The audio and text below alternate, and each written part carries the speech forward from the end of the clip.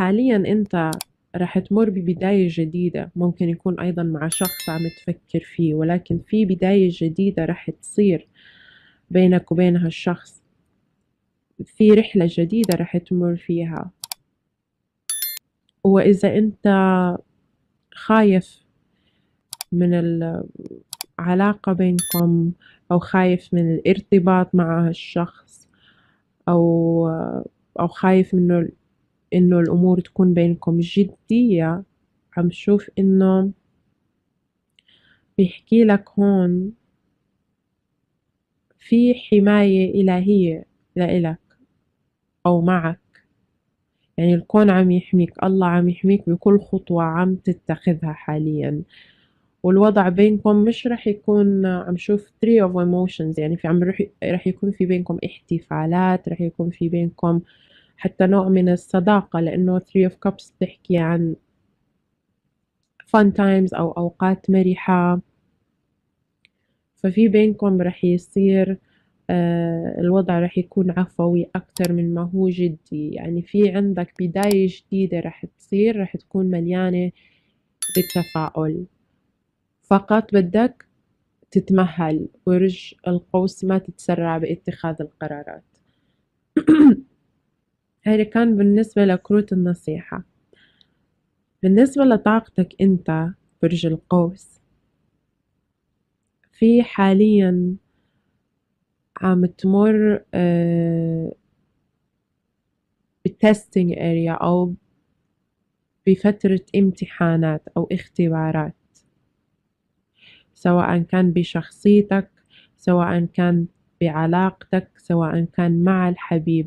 ممكن تكون أنت حاليًا عُرضة إلى إلى temptations أيضًا أو حاليًا أنت ممكن تكون عُرضة إلى إغراءات الحياة، أيضًا بدك تنتبه آه، من العادات السيئة، يعني ممكن تكون أنت حاليًا محوّط بعادات سيئة سواء كانت من من lust أو أو شغف تجاه الشخص أو أشياء يعني أو علاقات جنسية أو سواء كان من آه، addictive behaviors يعني إدمان على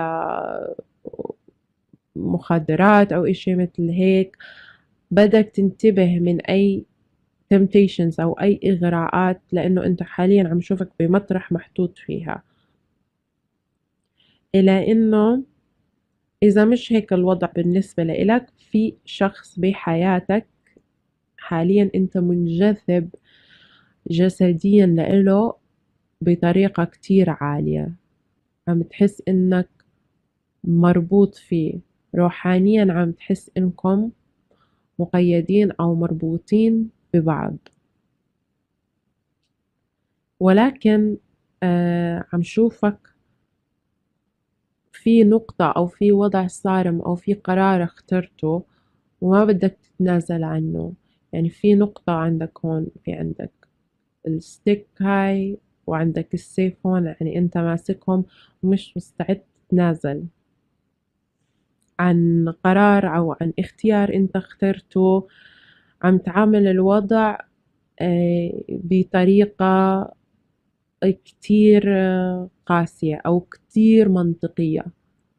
برغم المشاعر اللي أنت عم تحس فيها عم شوفك إلى إنه آه، عم تتخذ الطريق العقلاني أو عم تخ... عم تتخذ طريق تحليل الأمور أكثر بما إنه تعتمد على عواطفك. بالنسبة للحبيب أو الشريك اللي عم تتعامل معه عم يحس إنه انظلم لإنه في عندك هون justice. فهالشخص بده بالعلاقة يكون في توازن بالأخذ والعطاء. وهو بيحس إنه للبعض منكم اللي منفصلين هو بيحس إنه ما كان في توازن بالأخذ والعطاء بالعلاقة هو اللي كان بيعطي أكتر بالعلاقة بحس هيك. فهو حاليا بفترة آه، راحة أو وقت مستقطع. عم يحاول يستشفي فيه. عم شوف أيضا إنه هو ممكن يكون أكبر منك بالسن. في في بينكم فرق بالسن ممكن يكون هو أكبر منك بالسن أو ممكن آه أنت بتحس إنك ممكن تعتمد على هالشخص أيضا. بمعنى إنه تحترم تحترم آه بتحترم قراراته أو بتحترم آراءه. أو هالشخص أثبت لك إنه هو متوازن بأخذ القرارات أو بيحلل أيضا القرارات بطريقة منطقية. فهو حاليا عم يشوف إنه انظلم بالعلاقة وعم يحاول آه يستشفي.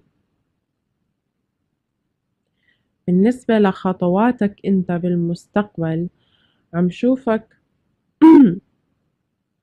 في عندك أمنية ممكن آه بدي أحكي على الأبراج اللي عم تتعامل معها لأنه دائما بنسى الأبراج بركز على الطاقة أكثر من الأبراج. الأبراج اللي ممكن عم تتعامل معها ممكن تتعامل مع برج الميزان آه أبراج هوائية أيضا. في عندك برج الجوزاء.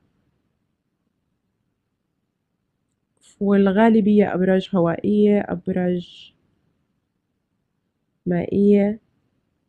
بس بتوقع هوائية لأنه الميزان هوائي الجوزاء هوائي ف بتوقع البرج اللي عم تتعامل معه يكون هوائي. أو في كتير طاقة هوائية بي بي عنده بالخارطة الفلكية. بالنسبة لخطواتك بالمستقبل أنت عم تشوف هالشخص آه، عم تعتبره soulmate أو عم تعتبره رفيق درب. أيضا بالمستقبل برج القوس رح تنحط بمطرح إنه بدك تختار بين شيئين أو بين شخصين. لأنه The Lovers بيحكي على soul mate ولكن أيضا بيحكي عن اتخاذ قرار بين شخصين أو بين شيئين. مثل two of pentacles الجوجلر فهالكرت بيشبهه إنه بالمستقبل رح تنحط بمطرح إنه لازم تختار بين شيئين أو بين شخصين. وأنت ممكن عم تتهرب من اتخاذ هالقرار حاليا أو عم تحاول تبعد عن هالطاقة عن هالإنرجي. ما بدك تختار قرار حاليا.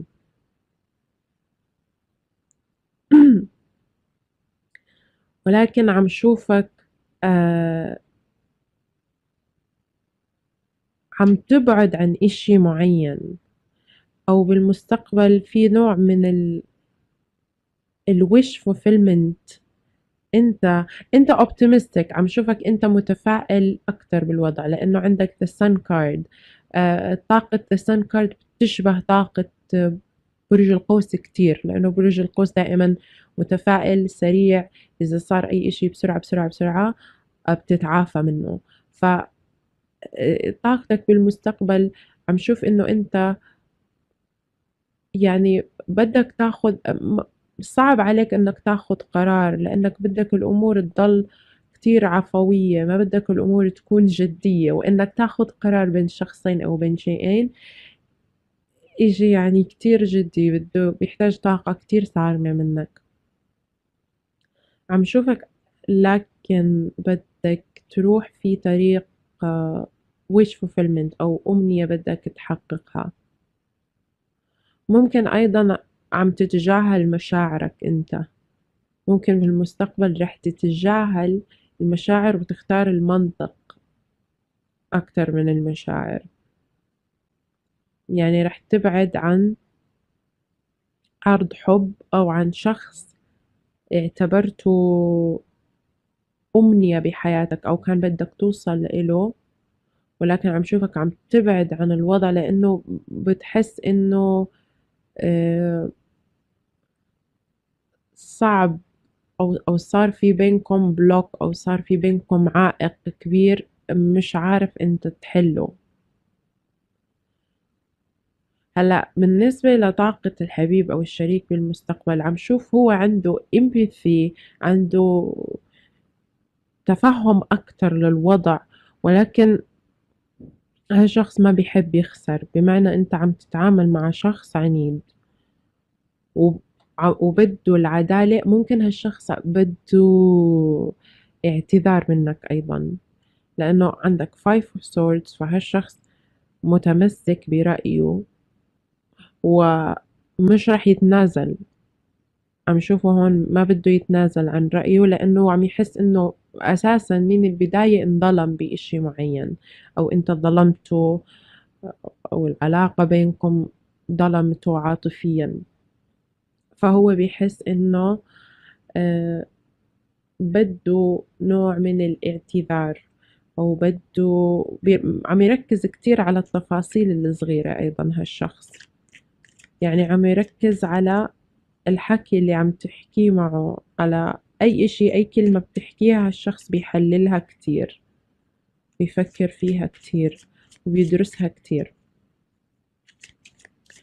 طيب بدنا نشوف أنت هل ابتعدت عن هالشخص يعني أو بالمستقبل هل رح تقرر إنك تبعد عن هالشخص فعلا؟ أو إن أو هل أنت في طريقك إلى هالشخص؟ يعني كيف الكون مرتب لك الأمور؟ بدنا نشوف. أول إشي.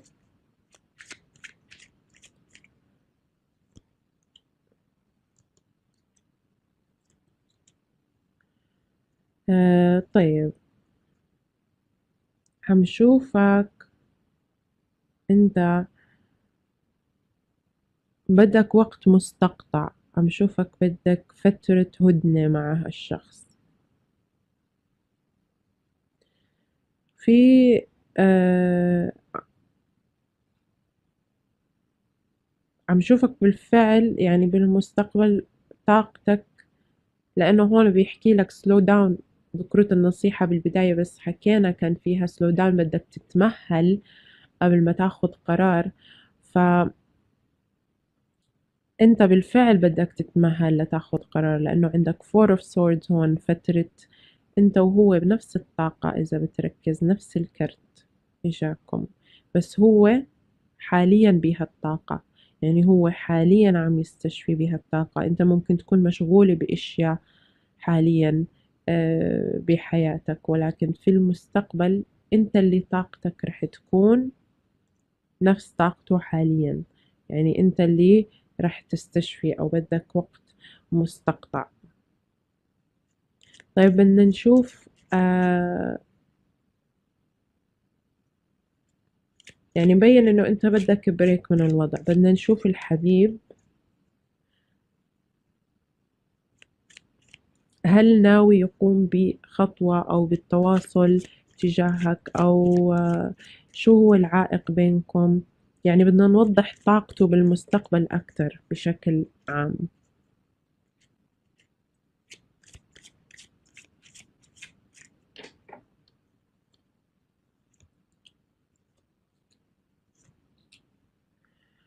آه فهالشخص بده تواصل معك عم شوف؟